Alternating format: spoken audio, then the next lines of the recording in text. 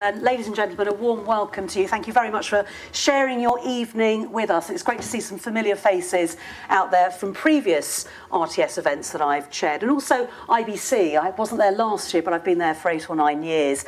IBC, for those that don't know it, is um, a big international broadcasting convention. It's so much more than that, but it takes place in Amsterdam every year. So again, I can see some familiar faces that have been along to IBC. If you haven't been there, then you may consider going to it. Um, it's every September September in Amsterdam at the moment. And, and also it's good to see a range of ages. I think there's some people in the room who, like me, were probably excited when the first black and white TV was positioned in the lounge. You thought, oh, what's that? And if we were lucky, we had one or two channels, right up to current date, where we have a plethora of channels and all sorts of broadcasters, national and international. So much choice. The landscape has certainly changed. And uh, this industry is so exciting. In many ways, it's bleeding edge or, or leading edge. And we're going to find out tonight about four people's visions for the future of TV. And I think they're all going to come up with slightly different content. So the idea is they've all been assigned 10 minutes each, and uh, that's a hint to them not to go over.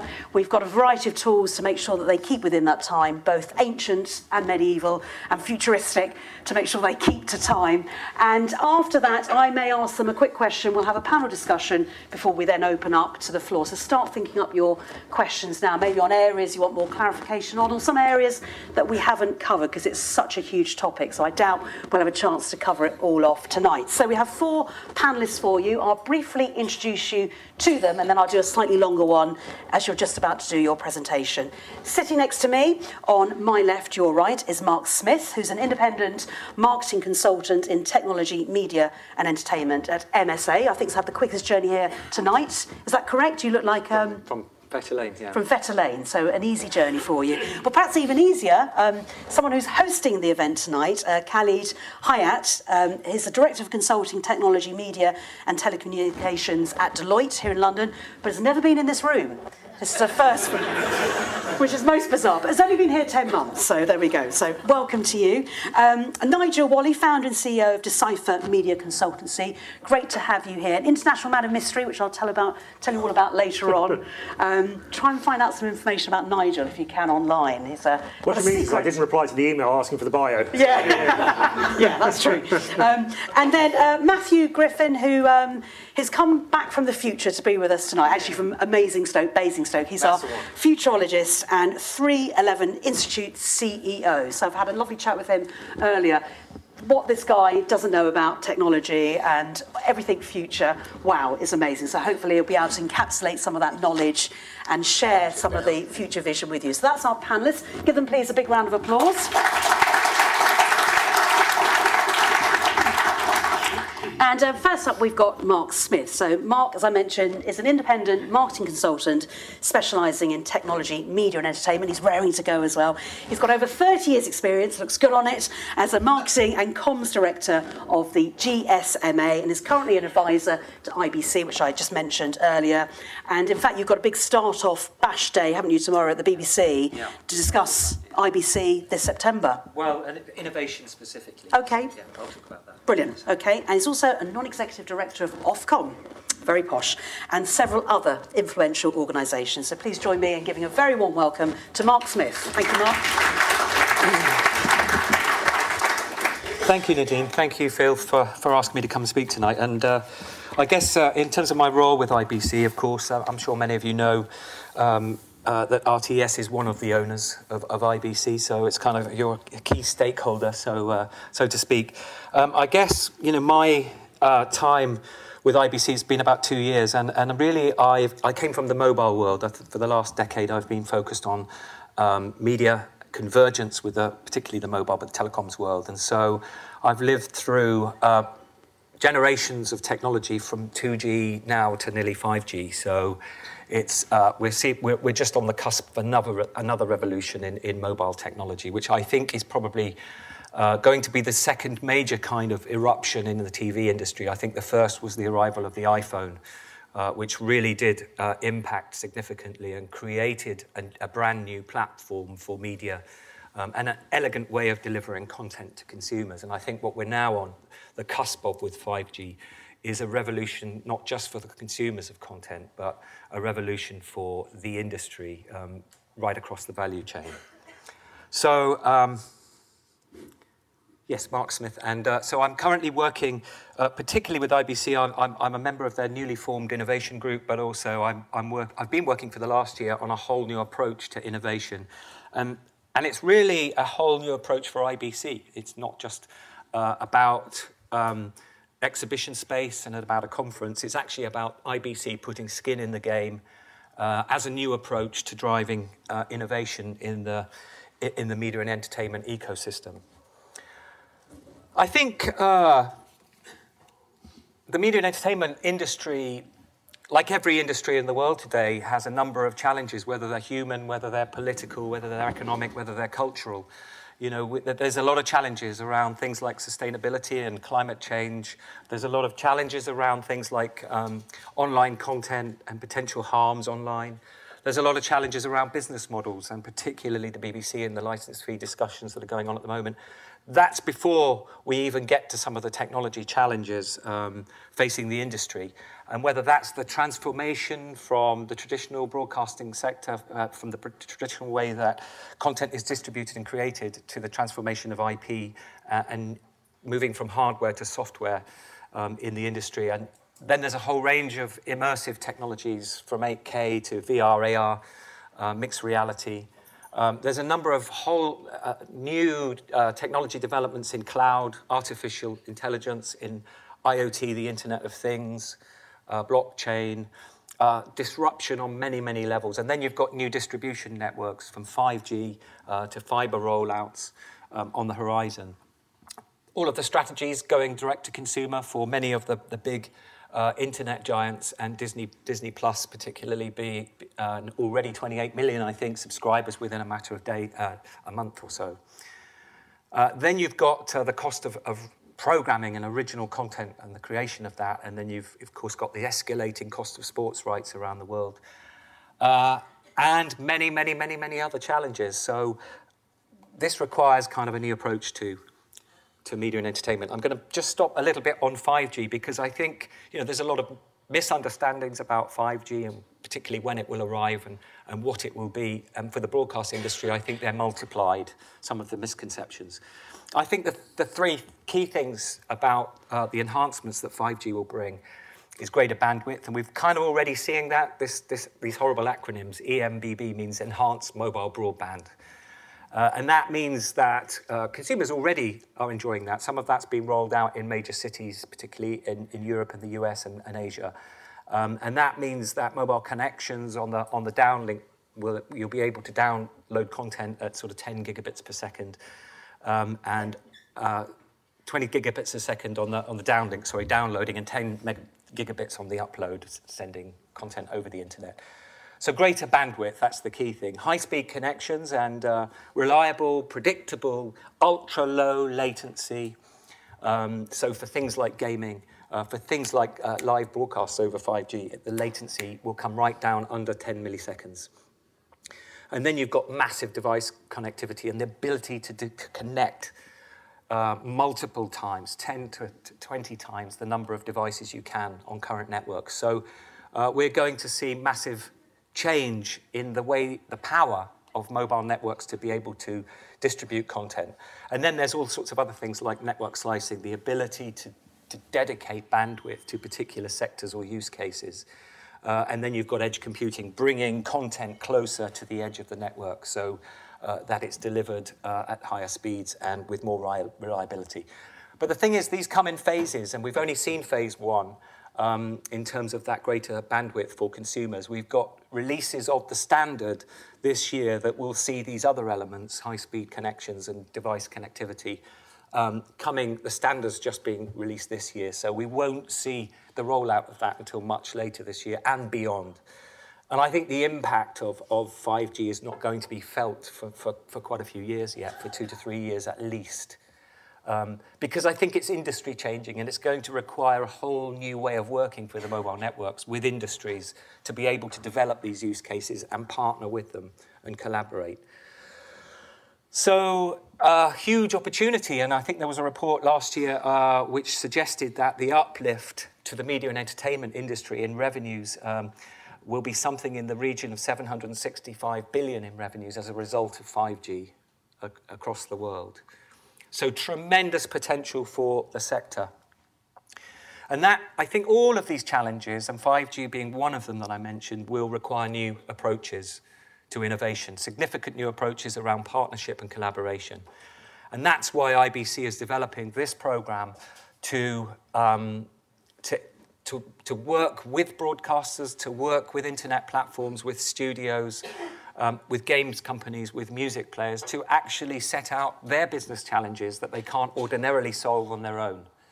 And then around those challenges, um, we create project teams that address those, um, those particular problems and in a matter of three to four months, uh, try to solve those problems at which we then showcase proof of concepts at IBC. Uh, and we did a number of uh, these projects last year, working with Al Jazeera, Associated Press, RTE from Ireland, BBC R&D, uh, and BBC News, BT, and a number of other champions. And then the vendors that you see here, the manufacturers who helped to develop some solutions around some fantastic projects. So using artificial intelligence to monitor, for example, on-air content. So for Al Jazeera, if they get the accuracy of their maps wrong, their journalists can be banned from a country. You know, there are all sorts of political implications. So making sure that AI-powered uh, sort of approach to uh, accuracy of things like maps, but it, that can go much further into fact-checking against uh, fake news. But also for regulatory compliance, for example, they have to report to Ofcom and to FCC uh, on their, the, their content, uh, the balance of political debates, how accurate their content is. It's all done manually. They use interns, RTE, for example, uses interns to measure and write down the time in a political debate each party has spoken for today. So using AI, that can all be automated. So a few, a few projects that we did, uh, another one around mobile news gathering and using AI uh, to compress uh, video so that mobile journalists in the field, even over unpredictable mobile networks, can send their reports back to uh, their broadcast teams uh, and it doesn't get the buffering, it doesn't have all of the problems of, of, of, of networks that are congested or uh, even on 3G, for example. So we enhance the quality of video that journalists can send via their mobile devices. So just the inaugural projects from last year, um, and projects, can, uh, this is a detailed slide, but projects can come across the value chain. Personally, if, if, if I was challenged, and I think Nadine has challenged me, what do you think will be the key um, challenge opportunities for the, for the industry? I think it's going to be this combination of artificial intelligence, of IP and cloud, and with 5G that gives tremendous scope um, for uh, creators of content of every kind um, to really power uh, the way that they, they create, distribute, and the way that audiences consume content in the future. Tomorrow in London at White City House, we have um, an event whereby we're bringing a whole host of broadcasters together with uh, vendors in, in, in the industry from all over the world. We've got people coming from Facebook in, in the US, people coming from Al Jazeera in Qatar, from Canada and Grass Valley and, and many others, from France, from Italy, Germany, Belgium, all to talk about some of these challenges that are going to be pitched tomorrow. And we're going to start creating new project teams to deliver some proof of concept solutions at IBC in September. So this is all about being more agile, being more hands-on, working together, working collaboratively um, to understand some of these technologies and to be able to um, see how some of the, the problems of, of transformation, digital transformation, can be addressed by the industry. So these are called IBC accelerators, and uh, I see a whole crowd of IBC guys down here who have been very supportive on getting this project off the ground, and, and I'm very excited about what it can do for the industry. I think that's me. 10 minutes? I was worried about the time again. Mark, come and join me again. Just a, a couple of quick questions for you. There were great expectations, I don't know if you remember, on 3G and 4G, and it didn't really sort of deliver in the hype that was expected at the time. It was more of a gradual change. Is that going to be the likely scenario for 5G as well, that it's not going to be a big bang, that it's going to take quite a few years for the full impact that you spoke about? I think that's slightly wrong in that I think there were huge expectations of 3G uh, and beca- partly because of the amount that they, the, the, the, the, cost of the, of the 3G licenses, you know, it was uh, back Yep. then in, in the early 2000s. Uh, and the expectations were set that there was going to be a revolution. Uh, actually, 3G was a revolution somewhat, uh, and it wasn't until the iPhone came along that made sense of 3G and was able to deliver a more elegant experience. I think 4G came more stealth-like, uh, and actually was an enhancement that people really didn't expect and wasn't hyped as much. And 4G really is a superb, was a superb um, technology and is, and will continue to be part of the 5G um, uh, networks for some time yet. There's going to be a, a, a crossover. So I would dispute that about 4G being overhyped, and I think it was underhyped and over-delivered. I think the danger with 5G is that it, it could be being overhyped, and I think uh, my concerns would be just by how quickly people think it's going to arrive. I think it's going to take a lot longer. And, and in terms of the impact it's going to have on the industry and those opportunities, where should people start looking now to get in when they can, so they're, they're there on that leading edge of it? Uh, I think um, actually, uh, I, I don't know if I should say, but BBC R&D has been doing an, an awful lot of work in this area, and there's particularly, you know, um, the team there, and I think there's some white papers and things coming that will explain 5G in, in language that I think is designed for the broadcast sector to understand. So that's a good place, I think, to Yeah. watch some of the developments, particularly around remote production, contribution, distribution, Yeah. in broadcasters' language and terms. But it was very striking what you said about collaboration as well, and it's actually the combination of several technologies, the AI, the 5G, and so on. That's really going to be the game changer. Yeah, and, and so I'm going to push the accelerator to say, you know, come and this is a safe place to kind of try and experiment to um, a trusted environment with IBC, to come and learn about some of these things and be a part of some of these trials and get a good understanding. So for broadcasters who want to join these as champions, there's no cost to doing that. They're funded by the vendors who help to provide the solutions, ultimately the sellers to the broadcasters. Um, so for, for champions, broadcasters, come and learn in this environment. It's a great way to experiment and work with peers in, in different broadcasters. There you go, invitation. So see Mark afterwards if you want to find out some more information on that. Thank you very much, Mark. And obviously, they've got some questions for Mark later on when we open up to the floor as well. Well, next up, we have uh, Khalid uh, Hayat, who is a specialist in the broadcasting sector, 20 years of experience across consulting and the TV industry.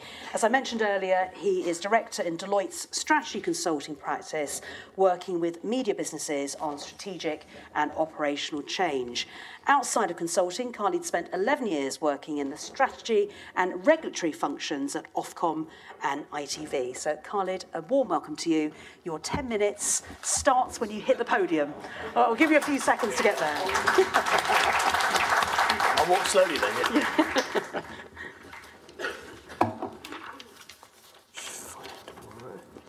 right.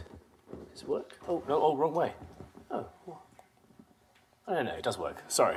Right. Um, good evening, everyone, and thank you, Nadine, for the intro, and thank you, Mark, for that presentation. Um, so here in Deloitte, we've been spending quite a lot of time thinking about the future of TV and how the TV markets that we know today are going to evolve between now and 2030. So we've thought about what are the market and technology drivers that are, that are, that are affecting that change. What does that mean for broadcasters and what kind of decisions do TV companies need to make? So let's just start by imagining ourselves in 2030. And we see a future that actually chimes with a lot of the things that Mark was just talking about. So we, we believe that the world of 2030 is characterized by what we call cloud-based, multi-platform, high-speed networks. And again, building on Mark's points, that is ultimately a cloud-based world enabled by IP and 5G networks with, with viewers accessing and interacting with content on a wide range of platforms and devices. So those networks enable what we call layered experiences. And by layered experiences, I mean experiences where you have the blurring of boundaries between different content types. And I'm particularly thinking here about the blurring of gaming and video. So if you think about what Reed Hastings has said, you know, Netflix worries as much, if not more, about Fortnite and YouTube as it does about Amazon and HBO. So, and, and actually, this is a world where there is a wider range of revenue models for monetization of content. It's what we call snackable subs and shoppable TV. So, a wide range of SVOD subscriptions and hyper targeted advertising, including interactive and shoppable advertising. And all of this world is enabled by four or five huge global tech companies who also happen to be media companies who also happen to compete in advertising. So that's what we mean by increasing competition with a wider range of platforms and competitors. Now, we could have a much longer discussion about all, you know, each element of these and what it all means.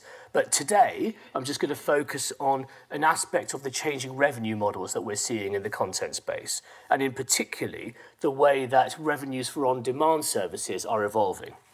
It's what we call AVOD arises. Sounds a bit like a Star Wars movie.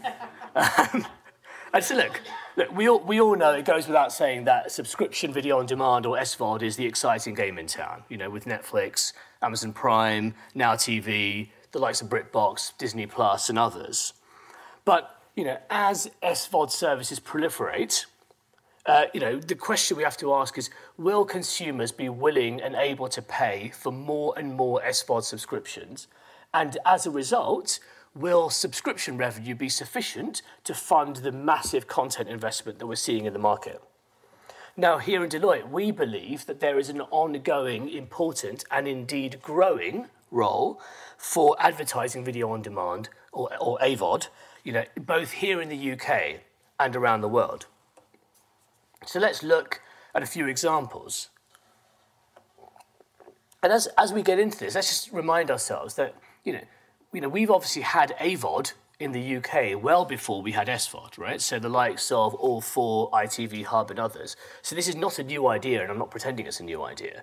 But what's interesting is, is, is that we're seeing you know, advertising video on demand becoming more and more important around the world, both as standalone free-to-view services, but also as adjuncts or as you know, uh, ad-supported tiers within otherwise pay services.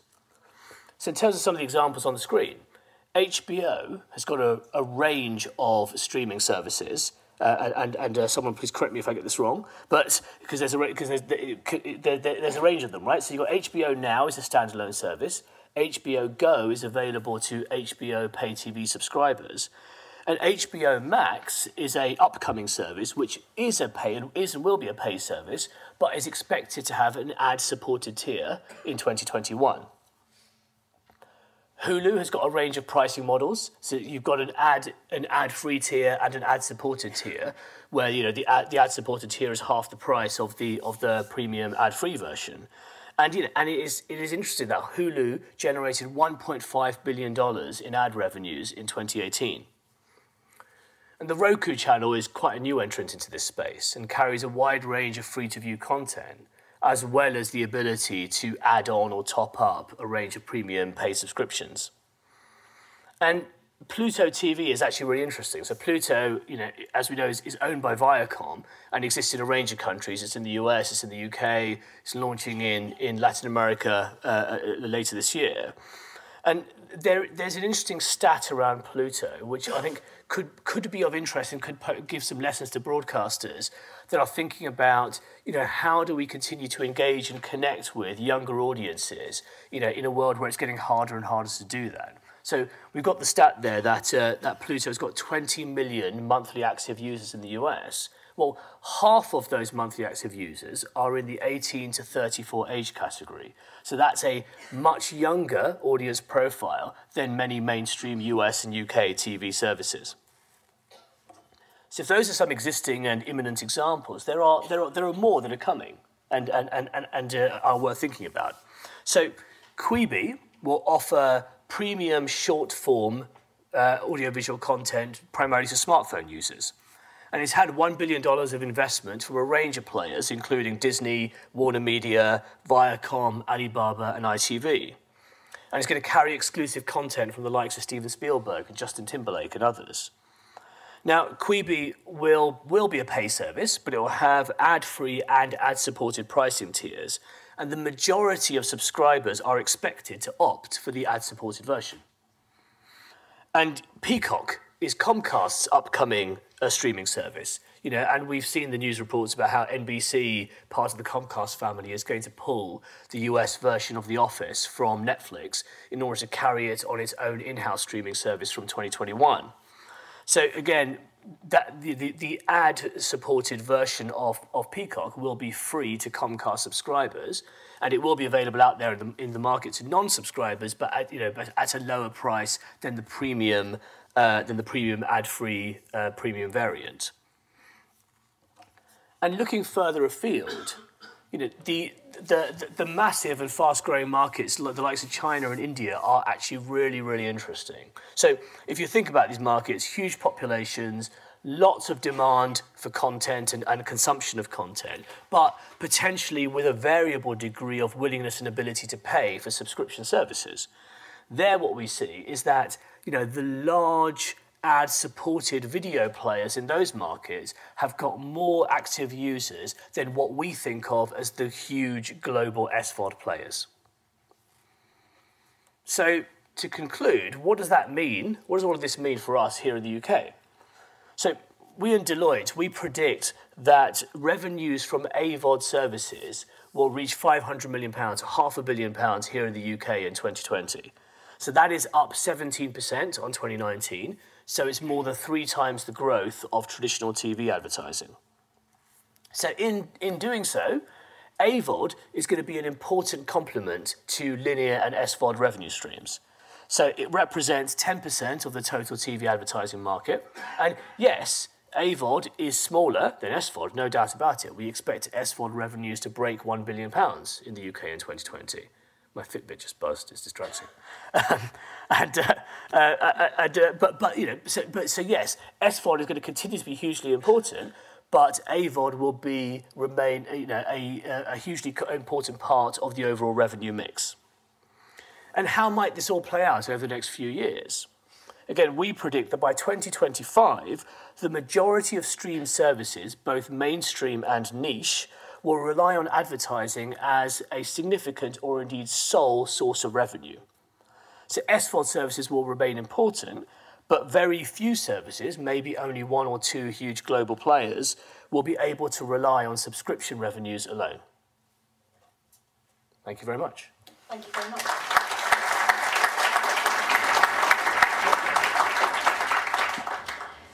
Thank you very much indeed. I suppose, in a way, every consumer would like less ads, but the mm. reality is that some people can't afford to pay those subscription prices, and particularly yeah. if you've got that younger audience profile where pocket money, I've read in one of your reports, typically it's about £13 a month for age ranges between 11 and 15. So I'm actually going to reduce the money I give to my children and set it at the average. They only get slightly above that. Um, so do you see that then as a trend that people will eventually just say, well, actually, I can't afford to pay subscription, so I'm just going to like it or lump the adverts? Well, I, I guess there's two bits there, right? So one is, I mean, we, we deliberately talk, and we, we didn't delve into this, but we talk about snackable subs.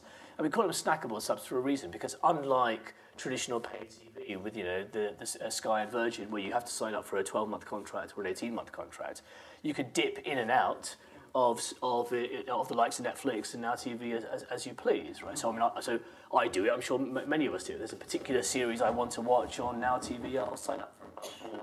If I if my son wants to watch a Spurs match, you know, you'll sign up for an Now TV Day Pass, whatever it might be. So I think that's one part of it. So, so I think what we're seeing is, you know, the ability to, in, to, to buy into mini pay services that hopefully, you know, offset some of the affordability question that you're talking about. So that's, so that's one part of it. The other part of it is actually about the enduring importance and power of, of advertising. And I was actually just talking to a colleague of mine on, on the way here, um, and there's some data from Ubiquity. I haven't seen it, but he says he's going to send it to me. Um, that that that actually that, that, that research shows that if you actually uh, um, put videos on people watching advertising, people pay attention to TV advertising more than they pay attention to, to any other type of video advertising. So there is still power there there is still power there. And a lot of the change in the markets we saw from your last slide is driven by some big global players. Yeah. I mean, China and India, that was quite staggering actually, looking at the, the power they've got um, now and in the future. So what does this mean for UK broadcasters? How are they going to change and act like global players if they're not already? Yeah. Yeah, I mean, look, so I mean, I think there's, I mean, there's the inevitable question of scale, as you say, right? Um, And, and, yeah, and I think increasingly what we're seeing and you know working with and talking to a lot of lot of broadcasters in the market is global partnerships you know matter more and more. So we see you know the likes of you know, Discovery doing deals with various national broadcasters around the world to, to, to enter markets and etc. So I think partnerships is part of it in order to be able to compete and think and act globally. But at the same time, what we have in the UK market, particularly where we've got the BBC, ITV, the public service broadcasters, Channel 4, as, you know, as we refer to them, there's the, there, there's the there's the need to strike the balance between the global and the local, right? So, you know, regional broadcasting and, you know, and, and, and work and, and spreading value across the nations and regions of the UK has always been really important in, in, in the broadcasting ecology here. Um, and, you know, given the government's focus on levelling up the north and so on and so forth, there is a challenge for UK broadcasters in you know how you know, what, what more are we going to do? Channel 4's opening opening its HQ in the north. You know ITV and BBC have been there for some time. The BBC is talking about opening up tech, tech hubs and other other activities outside London. But it's but it's about striking that balance between serving the UK and representing the UK, whilst also building the scale of partnerships to compete globally in the marketplace. Great, thank you very much indeed. Okay, well, next up we've got Nigel Walley. I mentioned as founder and CEO of Decipher Media Consultancy. Tell us a little bit about yourself, Nigel. Uh, so we are a small specialist media agency, um, and I, I, we've always championed the consumer. So we've looked yes. at how consumers adopt new tech, um, we how consumers um, change their media consumption because of new tech, um, and we've kind of reflected that back into models for broadcasters, for TV platforms, um, and various content makers. So I'm here in a way to kind of champion the consumer. I've got a whole speech about watching Love Island on live broadcast TV, so I'm feeling a bit stupid now. Yeah. So. Go for it. have, you, have you flown all the way from South Africa? Have you been there yourself? All right. Um, Welcome to you, Nigel. Thank you. No, no, um, on a serious note, I do believe that we're in a period of, of, significant change for the TV industry. So I think it's absolutely right to be having this debate um, now. Um, I would make the point that probably the TV industry is going into um, what we would consider its fourth significant phase. This isn't the first time we've been through this loop of, of a digital revolution. Um, you know, this is at, at, least the fourth digital revolution the TV industry has gone through. And when we're thinking about the future, it's, it's interesting just kind of think about that journey. There are obviously many futures um, you know, our, our future window is kind of three, five years out, uh, and if I'm drunk at a dinner party, maybe 10. Um, so, so when I'm talking about the future as we see it, I'm, I'm kind of talking about the, you know, the next five years um, and, and maybe just a little bit further um, afterwards. But when we go back to the beginning, um, going through these stages, uh, when some of the older people in the room um, first encountered TV. As, as you mentioned earlier on, um, it was a single device in the corner of the room. It wasn't particularly a, um, a, a technology. We didn't view it as a technology. Uh, in that era, what we might call simple TV, the big tech innovations were the jump from black, and white to colour, um, the arrival in halting forms of the remote control, as the older guys will remember, was some you know, cable running across the, uh, the floor to the lounge. Um, I have to mention teletext because Graham Lovelace is in the room. Um, you know, so you know, the, the first on-screen interfaces we saw, the first on-screen text interfaces that anyone in the UK saw wasn't the internet. It was actually teletext. It was on-screen text, um, which the older ones will remember was actually a separate box by the side of the TV when it first arrived, um, and was slowly integrated in. So it, it wasn't a, an innovation-free period, um, but it was the first halting time um, when innovation arrived in TV. We didn't really talk about TV functionality. And then, of course, 20 years ago, um, the second wave of, of television revolution happened when um, the American TV giants brought set-top boxes over. And for the first time, we had set-top boxes in our life. Um, it, the second era of TV was still one very much centered on the corner of the lounge. Um, it was a single device in, in, in consumers' homes still. Um, but for the first time, the broadcast industry suddenly had to realize that there was other commercial players in what we were calling the TV industry. We saw platforms arrive for the first time. Um, so big broadcasters had to deal with, with what um, they were calling disintermediation at the time, a dreadful um, aberration of an English word. Um, but this notion that, that big, nasty companies had stepped between the broadcast industry uh, and the end viewer. And we had to do a lot of work thinking about the value chain. The idea that the BBC didn't have customers, it had consumers, it had viewers, and, and other organisations had stepped between the BBC and ITV uh, and, and their viewer. Was the, it was the first time we had this kind of commercial wake up. And, and you know, in that era, we jumped from five channels to 500 commercial TV um, writ large. We had innovation around um, commercial models. We had subscription channels for the first time. We had pay-per-view for the first time. We had innovations around um, advertising, stripping of adverts across whole days. So lots of content innovation, but TV industry was still very much focused on broadcast. It was the only thing we could consider at the time um, until really the, the advent of the personal video recorder in, in that period. And then we started to see things, things change. Um, I always flag up to the younger people that on-demand television arrived in the UK prior to the internet. Um, and we remember back in those days, set-top boxes became a device we began to talk about as a thing which could be revolutionary. This device that sat in the corner of our lounge, increasingly with, with computer memory, enabled these, these terrible businesses, these platforms that were sitting between us and our viewers, to, to mess around with our signal, to record it, and to even drop video on demand um, files onto it and offer the consumer on demand television free and pay before the arrival of the internet. Um, so it's an interesting kind of thing. The power of owning and controlling a device in a, in a consumer's home is, is, was kicked off in that period. And we really then moved into the third period when people started plugging broadband into the back of the devices we watch telly through. So the internet arrived, we moved into this kind of third era of TV, which a large part of the UK is still in. An era which we call multifunction because if you go into most people's homes and watch what they use to watch television, it's still weighted towards the lounge, but as we know, all these other devices, phones, tablets, laptops have come into our life, and TV has spread out around the home and to the bus stop and to all these other places. But there is still a great weighting of TV um, towards the lounge. We have very sophisticated interfaces now, which are really on their way to being websites on TV. We have um, still have um, recording, we have on demand. Um, so we have multiple functions by which we can find TV, choose TV and use it. We've got TV being delivered into this environment still over broadcast. Um, we've got now, on top of that, we've got TV being delivered um, in a variety of different IP flavors into set-top boxes and into devices. So the, there's been an explosion um, in the ways our core product can be delivered into TV. There's been an explosion in the ways that we can offer it either live or on demand. So in one respect, um, it's an amazing time to be a TV consumer, as we are now. The thing I would flag up, um, which is why we believe we're moving into a, a new fourth era of TV, and this kind of five to 10 year future is going to be so exciting, is that consumers are actually starting to get pissed off with what we're doing. We went into a consumer's home the other day. They had 23 screens around their home through which they could get some form of PSB content. Um, when you added up all the phones, the tablets, the laptops, the games machines, the old TV in the kitchen that used to be the one in the back room, but the one in the back room was used to be the one in the lounge, and the one in the lounge was new, and they all moved around. The one up in the bedroom used to be 10 years ago was the one in the, in the bedroom, but the one up in the bedroom's got a Fire TV stick in it now.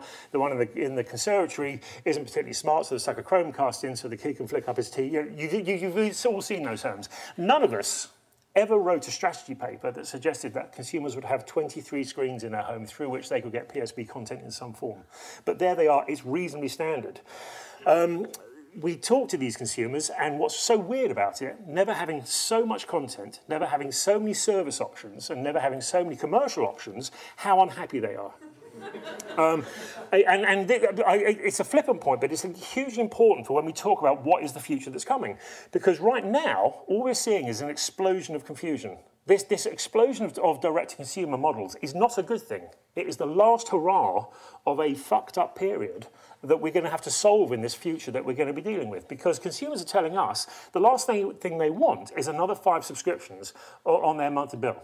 So we're going through this cycle where everything fragments, Everyone wants to go direct to consumer. Consumers don't want people to go to direct consumer. This is, this is, this is supplier push being thrown at the consumer. And the big wave of change we're going to see in this next year of TV is aggregation. Because consumers want one company to solve it for them. Please get all that crap, bring it together into a single interface and a single bill, please, will be the big driving solution in the next era. It happens in every wave of change in TV. So right now, we're seeing fragmentation, but do not think this fragmentation is the beginning of the new era. This fragmentation is the end of a bad era we're currently in.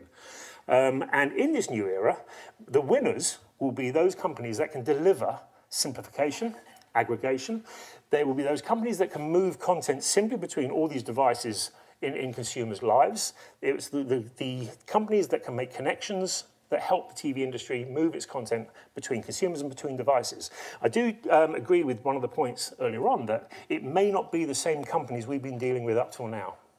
Um, you know, if we look at who's playing in this world, quite clearly, one of the big features of this next era of TV, this, the, the next 10 years, is the arrival of new players um, into positions um, where familiar old platforms have, have been very comfortable but not very good. So the arrival of, of Amazon as a credible television platform is a phenomenon. I would make the point that the numbers we were looking at on the, on the screen earlier on weren't for broadcasters, they were for platforms. We've seen our first 100 million pay TV platform, 100 million customer pay TV platform in China. And when you think, you know, Sky in the UK is 12 million, 100 million pay TV platform has an incredible amount of, of power to build new technology and to build consumer services. So we will increasingly see the rise of the global platform which will be an exciting thing. It is likely in, this, in the next 10 years we will have Android homes. A man said to us in research the other day, I bought a new television. That's great, we said. What did you get? He said, I got the new Sony because it runs Android. Why did you do that? We said, it's a great TV. Um, he said, I got it because I'm running Google Nest at home and it made sense to get the same software on my telly as I'm running for my central heating. And the weirdest thing was we all nodded. It made sense. Yeah, and you got an Android phone, Google Nest, Android TV, yeah, yeah. And actually, if you plug Google Assistant in, it just all talks to each other. And so we will be looking in this new era at those companies who can tie together all the weird crap we bought um, from B&Q in the last 10 years. Because we hear it in research. Yeah, I've got Sky Q, it's got voice, but I've got Sonos for my music, but I've got Alexa in the kitchen, and none of the things talk to each other. Um, so people are running multiple voice systems. You know, I'm, I'm saying this at an RTS conference. Average consumers are running two to three different incompatible voice command systems in their homes. What a strange world. In this new future, it will be the companies who can tidy that mess up. Um, so, and it, as one of the speakers said earlier on, it will be the big global tech companies increasingly creating global platforms. However, as a final point, and as we are at the RTS, I should stress that when I've got that fully interconnected array of devices around my home that allow me to move content between devices and services, allow me to voice command and pause and pick up in another room, I will still be watching Love Island live on ITV. because 75% of content last year, when you look at the broadcast magazine ratings was content that came from local broadcasters. It's local market TV with a very strong emphasis on live. And we do lament the loss of youth audiences in this world, but you look at the breakdown of the audience for Love Island. We make the right content, youth audiences will watch it, and they will watch it as families and on their own in this, in this new world. It's an, actually an exciting time if you make great content. It's not the death of broadcast, it's not the death of, of old-fashioned TV. It's a rejigging of how we get it to the consumer um, so there will be significant change in the next 10 years. Um, but as we say, everything changes, everything stays the same. Thank you. Poetry in motion. Thank you very much.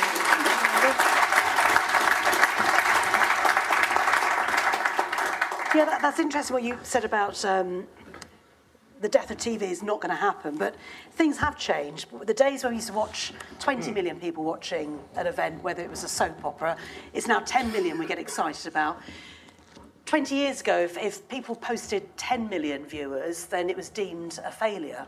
Mm. But in fact, that's now deemed a success. So do you not see that over time there's a slow erosion that suddenly, it may not seem like you're falling off the cliff, but in 10 years' time, some of those programmes will have fallen off the cliff? I'm nervous of the word erosion. You know, if you look at ITV, 20 years ago, they've got 20 million. They only had one channel. They've now got five or six channels, depending on which platform you're looking at, and on demand, and share of ITV Hub Plus and BritBox. So they've got smaller numbers on individual elements, but they've got eight or nine different routes to market. So the world has certainly changed, and, and big broadcasters, particularly the PSBs, are different. Um, and the audiences have moved on to new things. But new entrance into an industry is not a bad thing. New entrance shows that there's money out there that wants to come and play in our industry. New, new platforms or new broadcasters or new SVOD players bringing new money into TV is not a bad thing. It, that is, that is a, um, a declaration of faith in the core industry, which is entertaining people with beautiful precision TV. Indeed, so it's not necessarily about the viewers and the amount that you're getting, but it's about the lack of churn Hmm. And also the amount of people subscribing as well are factors of success yeah. rather than just looking at your traditional viewing figures. So how do we solve then this fragmentation? Because you're seeing more companies offering fragmented services. So where's the tipping point going to be? Because people are paying for them at the moment. Yeah, but, but we're seeing it already. We're seeing consumer demand for, for, you know, is there a website where I can find out, you know, one place where you can tell me everything that's on and be like, yeah, it's called an EPG, love.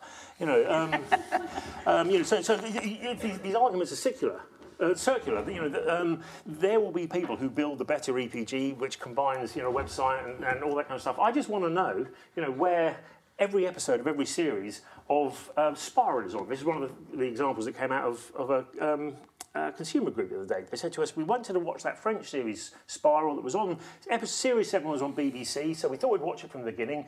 We had to go to Netflix for series 1 and 2, we had to go to, to Amazon Prime for 3 and 4. We couldn't find 5. We jumped to, to 6 and 7 on the BBC, and they said it was madness. All we did, we, did, we were declaring a desire to watch every episode of, and every series of a TV program. And the industry has put these barriers between us and them to make it really hard to do. And they were saying, isn't there just a single place I could go and find all that stuff? We're willing to pay.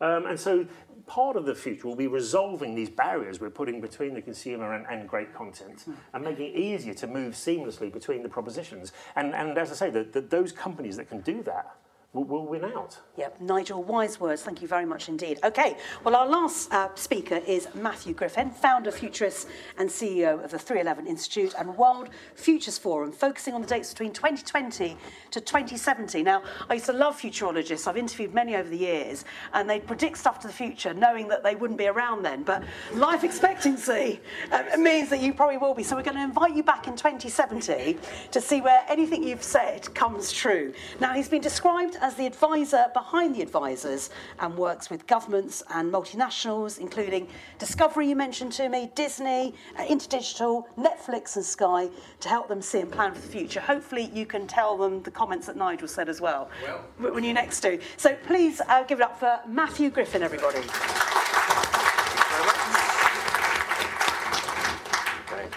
Hey everyone, how you all doing? Good? Excellent. Yes. Okay, so as we start uh, looking at this, um, so I've got a relatively large deck. I'm going to condense it down because I have 10 minutes. You're watching a pop star, right? You're not watching a pop star, you're watching an artificial intelligence pop star that's been signed up by Sony. She has half a billion YouTube views, and uh, her name is Ampna. So she's an artificial intelligence pop star. Warner Brothers have also signed up a whole variety of other AI pop stars, basically. So, are we really talking about the future of TV? Do I really watch a black box on my wall, or do I really watch content? Because if we're really talking about the future of content, we're going somewhere crazy.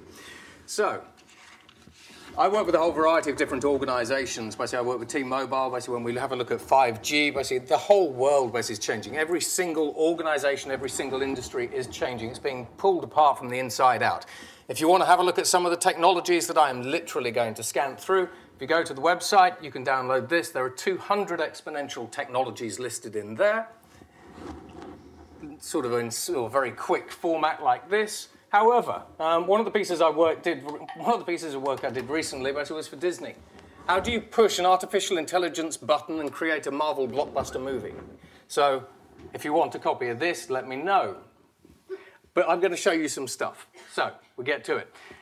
If we have a look at today, basically increasingly today, the pace of change is accelerating. Everything is getting more complex. If you step back to the 1980s, 1990s, and I said, what do you think you can do with technology next year that you couldn't do this year? You might look at computer chips and say, computer chips are faster, we can ingest more information, analyze more information, and I can do stuff with that.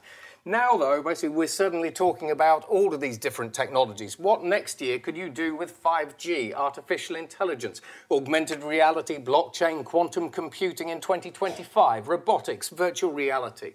And are you moving to the cloud? Are you digitizing your businesses as well? If you're digitizing your business, you're collapsing all of the boundaries between every industry. You can move from one industry to the other seamlessly, aka Facebook, Google, and all the rest of them. However, when we have a look at exponential technologies, basically there aren't kind of just the 10 exponential technologies we always talk about. Again, this is in the codex, which is why I put that up.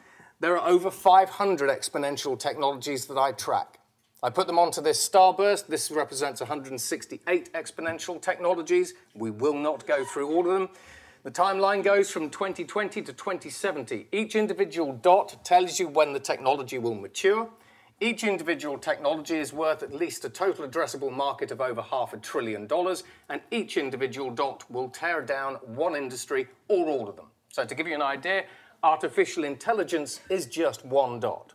Um, however, as we start talking about the future of content, basically we're going to talk about uh, intelligence. So, for example, creative machines. And then when we start talking about uh, television itself, up there we can have a look at user interface because you don't care about the technologies that we're using to create this content or to push this content to you. You just care about what you're watching and how you access it. Fine? So, with no more ado, basically we will go into a couple of the uh, sort of little areas. So when we start having a look at the different tools that you have available to you as a creator, we can democratize anything. If you're a crappy artist, What if we were to change all that to, can you draw the picture on the left? We democratize creativity using artificial intelligence. This is just images, 2D static. Wouldn't it be great if everybody could be an artist? If we could take our ideas and turn them into compelling images? This technology allows us to create a smart paintbrush so that if you wanted to create a new picture, you can just draw the shapes of the objects that you want, and the neural network can then fill in all the details. Congratulations, you are now an If artist. we add a water feature, the network is able to add reflections, not because we told it that, but because it learned it. Or if we change the ground to be covered in snow, then it knows. Now that you get the idea. I'm going to fast different. forward.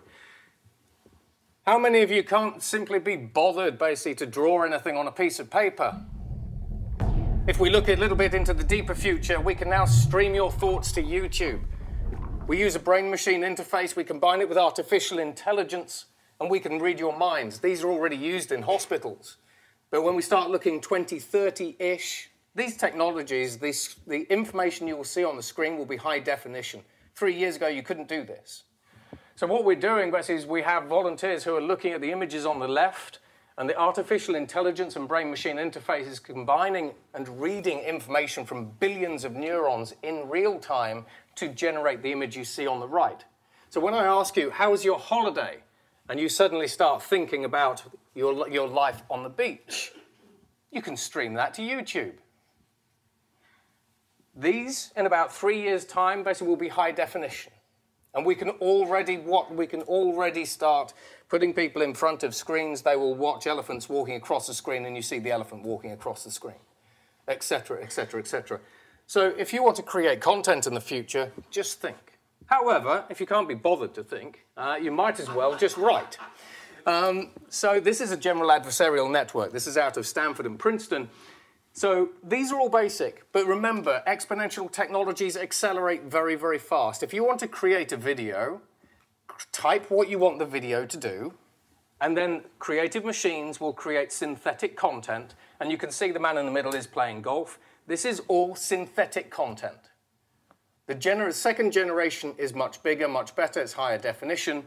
Again, fast forward three, four years, basically this will be, you thump this into a platform like Google, I throw it on your smartphone, basically you text on your smartphone or you say, create a video of a man playing golf, the system does it. Deepfakes, three years ago, basically they were in labs. If you wanted to create a very badly convincing deepfake, you needed AI experts being paid about $1.2 million and you'd look at the deepfakes and go, that's rubbish. That's it. Now, basically, you can download Zao as an app in China. You scan your face, and it will put your face into a Leonardo DiCaprio movie, and it's quite convincing. this stuff accelerates. However, what about if we just let AI take the strain? So, if we start ta- looking at this, one of the companies I work with is MPC. They created the Lion, Mo- the Lion King. If you think about The Lion King, we now have gaming and content creation coming together because The Lion King is unique. It was created in virtual reality. They went out to all the savannas and everything else. They used the Unreal Engine basically to create essentially a game, but it's a virtual reality environment.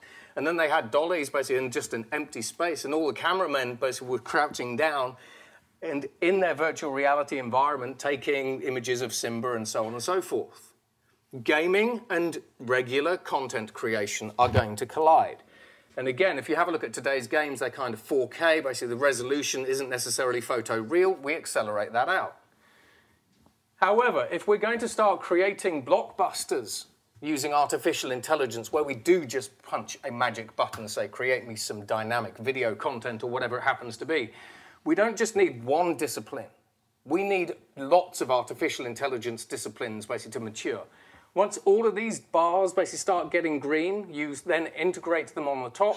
The first, the first movie and video that you create basically is rubbish, and everyone goes, it's rubbish. The second is a bit better. Third is okay. Fourth, you're liking that. Fifth, you're paying for it. Sixth, you're starting to subscribe to it.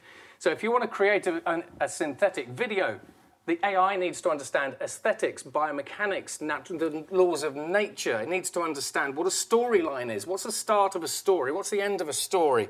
What is emotion? How do I figure that one out? And all sorts of things. But we need the individual elements. So we need voices. So this is using WaveNet Google's WaveNet technology. If you want to get past Uncanny Valley you make the voices imperfect. Um, I'm looking for something on May 3rd. Sure, give me one second. Mm-hmm. Sure, what time are you looking for around? At 12 p.m. We do not have a 12 p.m. available. The closest we have to that is a 1.15. Do you have anything between 10 a.m. and uh, 12 p.m.? Depending on what service she would like. What service is she looking for? Just a woman's haircut for now. Okay, we have a 10 o'clock. 10 a.m. is fine. Okay, what's her first name? The first name is Lisa. So think about conversational interfaces and everything else. This is your voice. You can give this thing an accent. You want it with a Birmingham accent. You want it with an angry Birmingham accent. It can do that. That's your voice. Now, basically, when we start having a look at other synthetic content, this is just images. These are 2D images created by a general adversarial network from NVIDIA. That's high definition. Three years ago, that was black and white and horrible. This thing keeps going. But when we create 2D static images, the next thing that we do is we create 3D static images. And then we start creating 3D dynamic images and we start moving closer and closer to video. This thing will keep going. This is a full body deep fake basically out of Japan. So you can now start seeing we have different elements coming together. There's lots of different ways we can create synthetic content in the future. These are your people. You stick them in front of a synthetic background, basically, and off you go. And it'll just keep going. It's compute power. However, here's an advert basically that was actually written by an artificial intelligence. It looked at all of the award-winning car movie, uh, car adverts, and it figured out basically the script. All of the world's best top award winning car adverts have emotion, they've got grit, all this kind of thing. So, this was filmed by a human director, and this has since picked up awards. So, we have artificial intelligence script writers.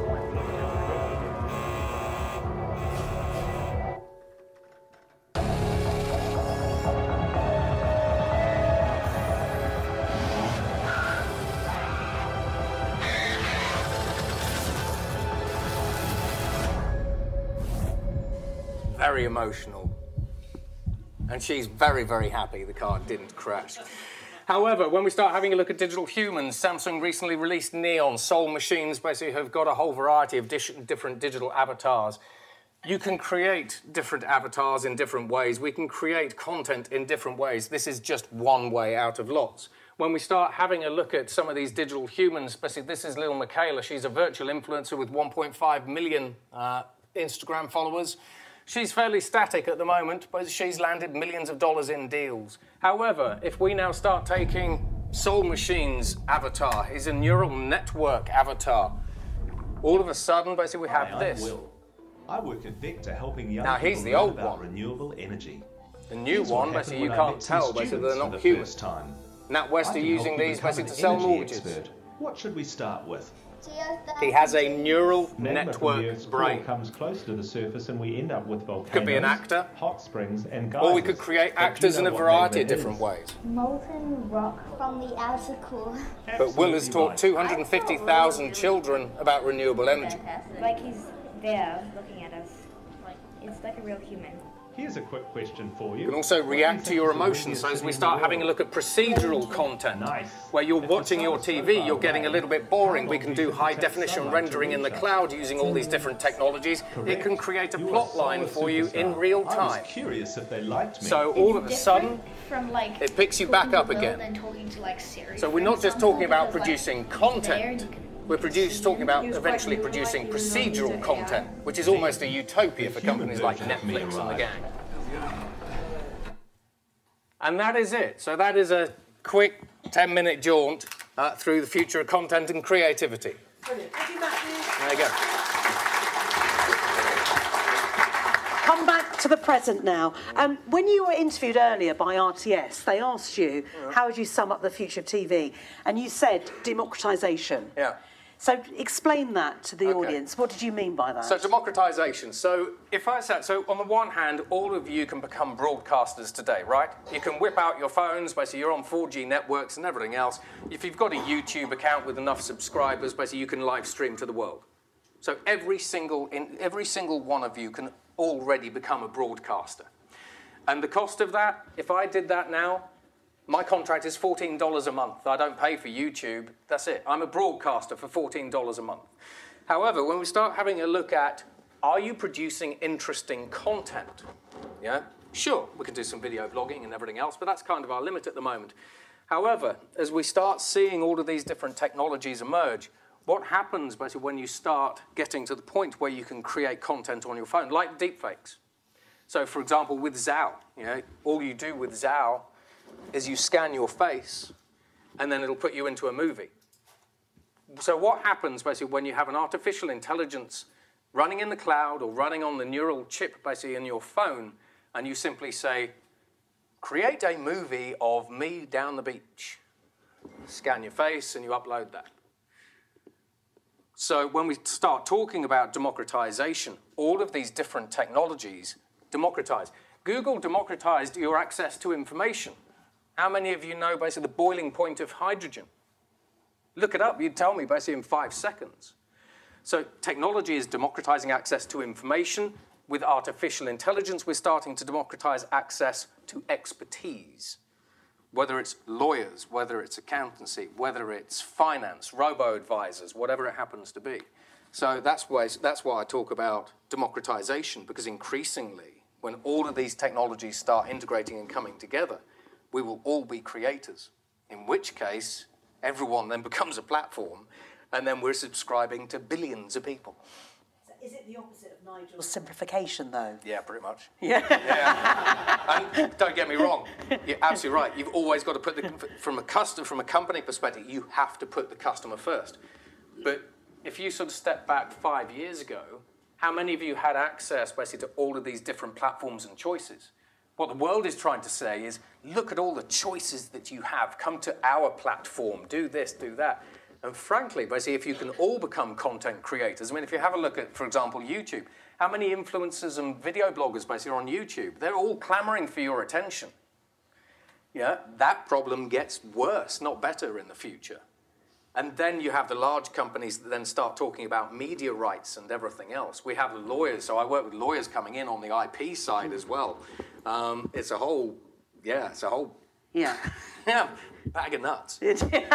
So, just want to, are you human or are you a robot? Just want to double check. I do. human. You're, you're a human. isn't- Yeah. So, Carleen, how does this all sound to you? What's been striking for you from the other panelists? I mean, it- it's it's. I mean, it's. I guess it's fascinating to think about, you know, the themes of you know, change, but also consistency, right? So, in you know, in terms of the impact that five G can have, in terms of the fact that actually seventy five percent of content is still watched linear, as you as you as, you- as you say, Nigel. So, you know, consumers like comfort, and I- and I think we, you know, we, we shouldn't lose, you know, lose sight of the fact that what we what we may think of as starting as legacy technologies, there'll be older, vulnerable viewers, etc., for whom you know the traditional TV set will be a lifeline for a long time. But actually, the world that Matthew's talking about is hugely exciting, and, and, and, for media businesses, thinking about how do you you know embrace that world and think about well, what do I need to own and control in that world versus what can I do in partnership with others or actually just exit from because I, I can't play and I can't have a comparative advantage in that world, it, it, it's, it's, it's fascinating. And Nigel, have you changed your viewpoint? Do do you want more No, not at all. We get one of these every five years, and it's fun. and it goes away. And uh, yeah, I mean, it's good fun. Don't get me wrong. It's great. It's nothing to do with TV. You know, um, we, we forget there's a basic economic principle in life which has been the same for three thousand years, which is specialisation. I, I, you know, I can make my own bread. I don't because it's better than the baker does it. Um, you know, I, I can do myself. I can do my own everything, but I don't because society is better when people specialise in stuff. The very last thing most people want to do is make their own telly when there's people out there who want to make telly for them. Um, so yes, technology would allow everybody to do everything themselves, but actually the reason we have a TV industry is, is because there are other people out there who are better at coming up with ideas for television programs and creating them and presenting them to me. So I can get on with my day job, and the TV industry can get on with this day job, and we meet together in the evenings and the afternoons, and, and a beautiful thing happens. So just because you can doesn't mean you should, doesn't mean you will. Um, and you know, so, so we th this clash between tech and art is, is this kind of perpetual debate in the TV industry. At the core of the TV industry is art, is, is creative lunatics doing great things and making great TV, surprising TV, serendipity. Um, I turn on the TV not knowing what I want to watch, not knowing what some creative person has wanted to put in front of me. And that's the great thing. That's the magic of TV. Um, and that will never go away. There will always be people who want to tell stories and who want to put their stories in front of me, um, which is great. Um, and so there will always be that, that business. I'm not saying that the tools that they use won't evolve, you know, cause, actually what you were really describing was an evolution of tools. Um, it, it was a toolkit for creative people to, to um, better illuminate their stories and their images for me as a thing, which is great. The, the tools always improve, and you know we've seen it this year with the arrival of um, The Irishman. You know, the first time a big top-line movie has used proper AI to create characters. So some of the stuff you were talking about has kind of made itself into the mainstream, but it was still a tool that a creative person used to make a piece of creative output in the shape of something which I recognised it's a movie, um, and we, we watched it in the same way. Mark, you've been nodding your head. Are we just all fuddy-duddies, though? In fact, the younger people will actually relate more to what um, I, has I've been said. I was thinking that. I mean, you know, when I think about my children, and, and you know, they probably watch Love Island as the only normal TV, traditional TV they watch. TikTok is the big hot thing at the moment, but it's you know, it's a combination of things, and, and actually they get them all free anyway because I through Netflix through my subscription and Spotify through mine. So the day when they have to pay is going to be an interesting. one.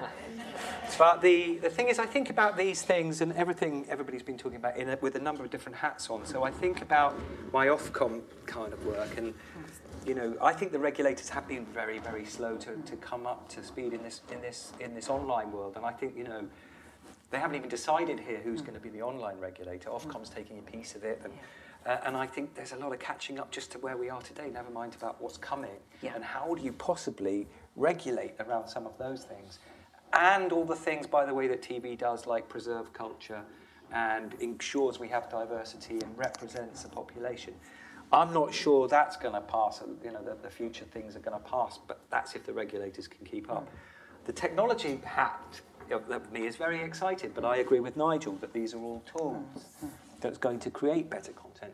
The viewer and consumer in me, and a music fan particularly, I, if the minute he said that was artificial, or I found out that was an artificial artist, turn it off. Yeah. I'm not interested. And anybody who is into their music, I'm an audiophile, I play vinyl and stuff, but I wouldn't go to that level. I'd just say I, I hate the manufactured model of music. I bet you've got a shed in the bottom of your garden, haven't you? Yeah, that's me. Yes, Yeah. with, with a vine. Yeah. But you know, nothing I, wrong with that. I think the same. I think this, completely agree with Nigel that, Yeah. that the human stories and, and, and that will I think is always going to be core to Yes. a, a, you know a TV exp- and a cinematic experience. I'm going to go to the audience in just a moment. Just that point on the regulator, then, uh, Khalid, you may want to come in here as well. I mean, what is the future role of the regulator? Can you regulate an industry that, as we've seen the shape of the future for TV, looks like it's um, unregulatable, if I can say that word?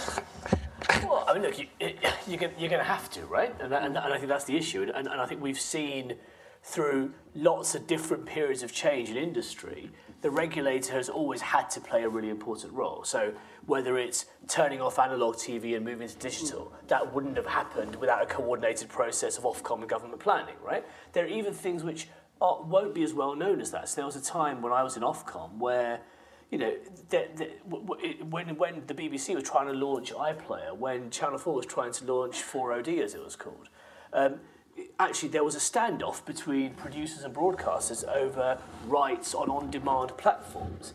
And actually, we as Ofcom at the time had to basically br- bring parties together to broker that agreement and make it happen. So, again, as we're driving forward into a world where you need to regulate against fake news, whether it's you know, uh, uh, or, or whether it's regulate or, or plan for a world where traditional TV ceases to exist, you've got to have a strong, forward-thinking regulator that can do that.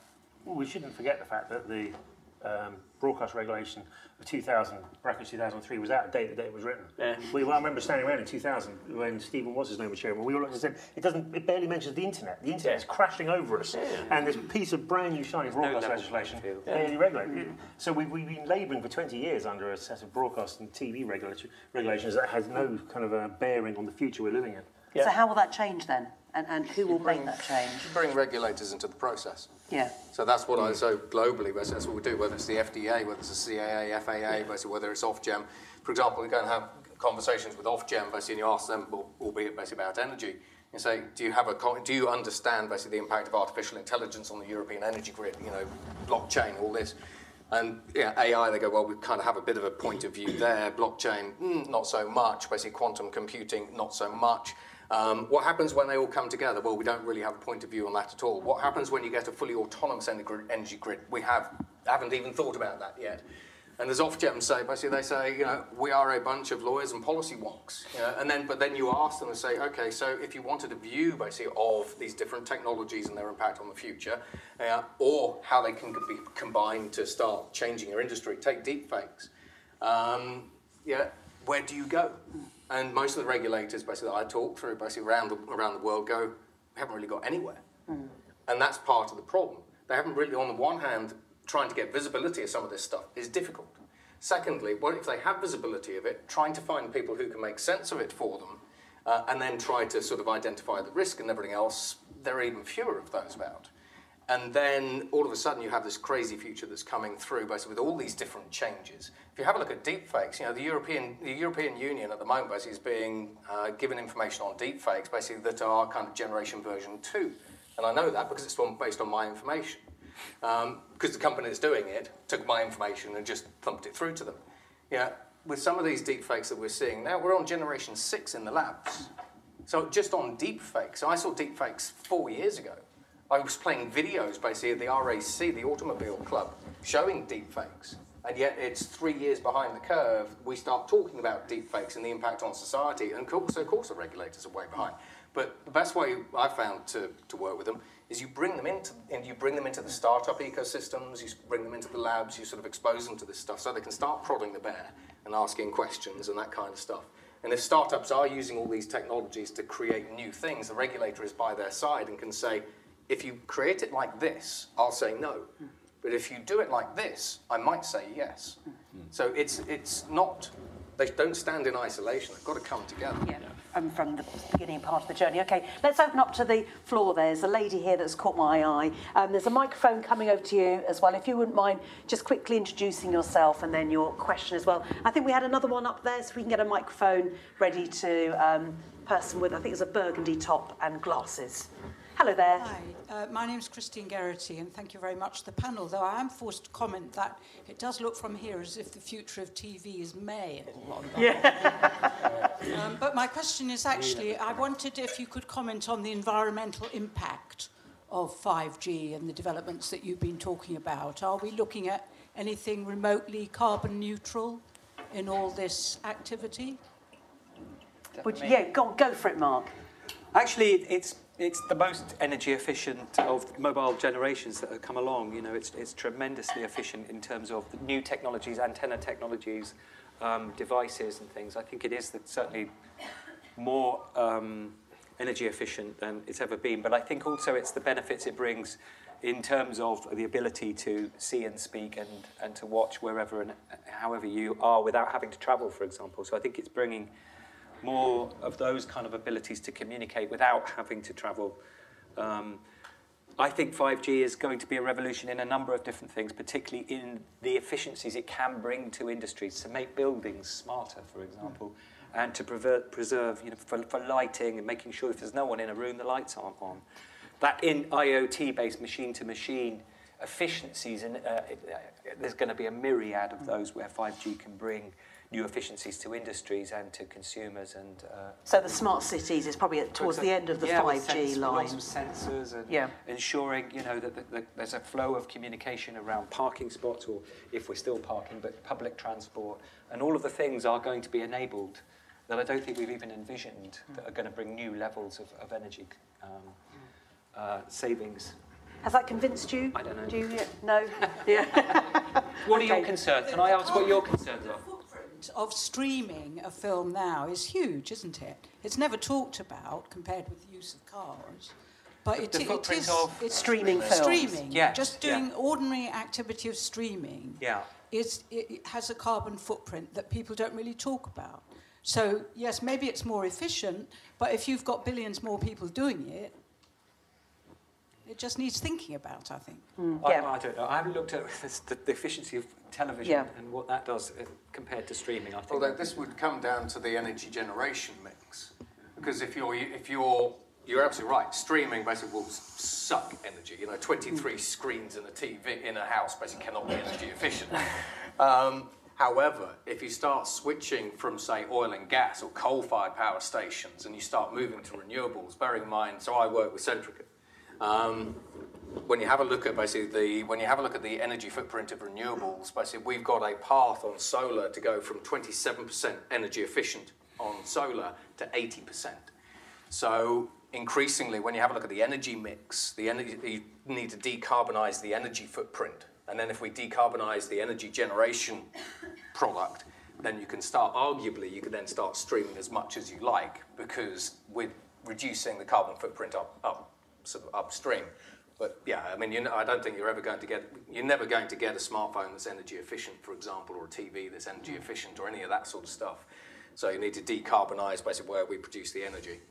Until you go 100% renewable.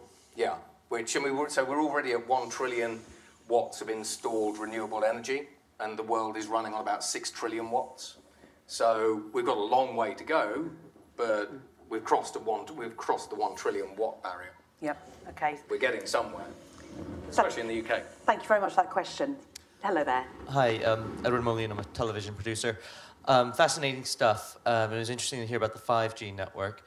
Um, it seems that in many cases, uh, your developments around tech, um, content uh, creation and uh, delivery is limited by the global global adoption of various technologies, be it you know mobile networks, etc. I was just wondering if you could speak at all to um, the emergence of global uh, data networks. So I'm thinking about things like satellite delivery of internet, that type of thing, and, and how that might impact access to a lot, a lot larger audience that wasn't accessible before, and their ability to interact with broadcasters. Great question. Who wants that? Yep. Give it a go. So, um, no, you're absolutely right. Basically, if you have a look, so today, basically, we've got three and a half billion people on the planet connected. The other three and a half billion people have either got no access to internet or crappy access to internet. So, when you have a look at low Earth orbit satellites like SpaceLink, OneWeb, all that kind of stuff, you know, Elon Musk is throwing up 12,000 satellites into low Earth orbit. Um, increasingly, basically, over the next 10 years, albeit that we're shutting out the stars, and that's going to be an issue um, that needs to get resolved. Um, the, the, fu- the future of mobile communications is generally going to be less about backhaul fiber, and it's going to be more about 5G, uh, WiGig basically in the home, because if you're running 5G to your home, um, then your current Wi-Fi router isn't going to fly, so you need WiGig or Wi-Fi 6. Um, but then when you start combining those 5G and 4G and LTE networks basically with low Earth orbit satellites, um, all of a sudden your total, on the one hand, your total addressable market goes from three and a half billion people, if you're Netflix, for example, to seven, seven and a half billion people. Um, because with these low Earth orbit satellites, basically all you need is a Wi-Fi spot uh, or a, state, a base station within a village, and you can blanket it with Wi-Fi and 4G. You know, now getting 5G basically out of a, out of a low Earth orbit satellite, basically that's going to be about 10 years. T- that's going to be 10 years time, but that's a software upgrade. We've already got the we've already got the optics to do that. But um, yeah, you know, we're bringing the other with the other three and a half billion people on the on the planet online. I think there's a business model question to that. Oh, there is, yeah. So, Um, I so- think, you know, I've known lots of companies and, and organisations that have tried, attempted to do that, but the business model doesn't stack up when you're dealing particularly with some of these rural populations that you're talking Yeah. Well, this is so one of the business models that's being floated at the moment. Basically, is you provide a hundred, you provide a hundred dollar base station. It depends what you want to connect up. To be fair, but if you want to connect up a remote village in Africa, you know we're doing it already. Yeah, it's a hundred dollar base station. Now, on the one hand, when you have a look at, say, SpaceX, you've got a multi-sided business where they're able to take money from one part of the business and feed it into SpaceX. But uh, you're absolutely right. You've got this problem of build it and then they will come. However, there's a, there's a big cost in building this. So Elon Musk, for example, has now petitioned the, F, the FCC uh, to put down a million base stations in the US. But when you look at blanket coverage for the US, yeah, you need tens of millions of base stations. Yeah. So you do have a scalability problem. You've got a deployment problem as well. But that's a capital and a time issue. Uh, and if you've got the money, and you're operating multi-sided businesses particularly, then there is a way to roll it out gradually. Or, I was with I was with you in this. I was sitting here thinking the rights lawyers will stop all this. Yeah. Yeah. You might build a global network that can move content within milliseconds between every environment, but Who's gonna if we're still it? selling football on on Ireland, England, Holland on separate rights packages, you, you can make it as great as you like. The rights laws will, will bung all this up for years. Yeah.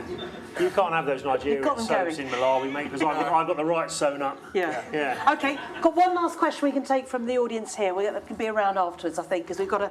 We, 8.15 we were meant to finish, but we were told we can go to 8.30. So we'll just take a question from this gentleman here. Hello there. Uh, hello, Christian Aurora. I work for um, uh, an old-fashioned legacy public broadcaster called uh, SBS, which is in Australia.